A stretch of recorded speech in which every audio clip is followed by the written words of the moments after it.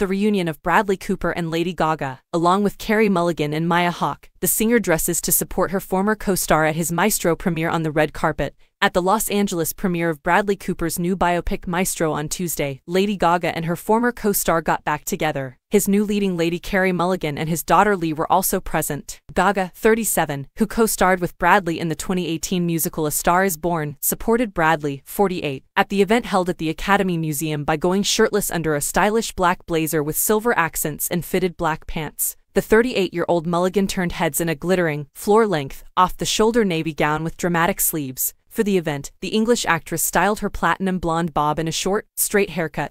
Maya Hawke, 25, looked stunning in a structured ballerina-style brown and white sleeveless dress, matching it with pink heels and white stockings. The long-lasting friendship between conductor-composer Leonard Bernstein and actress Felicia Montealegre Cohn Bernstein is the subject of the new movie Maestro by Cooper and Mulligan. Five years earlier, Bradley and Gaga worked together on the film A Star is Born, in which he played a hard-drinking musician who meets and falls in love with Gaga's character, a singer. Eight Oscar nominations were received for the movie, including one each for Cooper and Gaga for Best Actor and Best Actress. Cooper and his miniature Cooper were gleefully escorted into the auditorium by the blonde bombshell to watch the movie. During her red carpet debut, Bradley looked like a proud father, holding hands with his six-year-old daughter, whom he shares with his former girlfriend, 37-year-old Russian supermodel Irina Shayk. He dressed for the event in a traditional three-piece navy suit, while Lee wore a Dolce & Gabbana dress with a cheetah print, white ballet flats, and a red and black crossbody bag. In the movie, Lee also made her acting debut as Jamie Bernstein, the younger daughter of Leonard and Felicia